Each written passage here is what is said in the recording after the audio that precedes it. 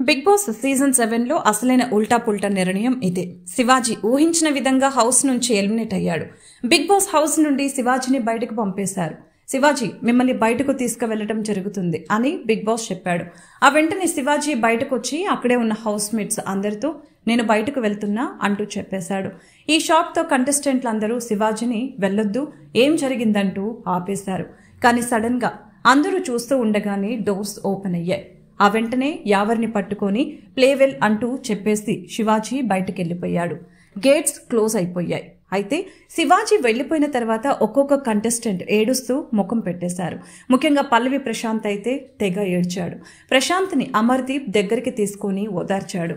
ఇక యావరైతే ఏం జరిగిందో అర్థం కాక ఆ గేట్ దగ్గర షాక్తో నిలబడిపోయాడు.